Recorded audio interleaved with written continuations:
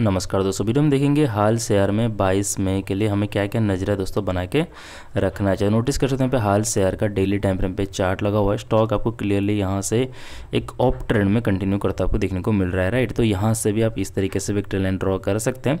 इसका रीजन क्या है? मैं आपको ये ट्रेन लाइन दूसरे वाला क्यों देखा क्योंकि दोस्तों, अगर इनकेस यहाँ पर ब्रेक डाउन करता है तो यहाँ से भी सपोर्ट लेकर ऊपर जा सकता है। ऐसा कंडीशन आपको देखने को भी मिल सकता है, राइट?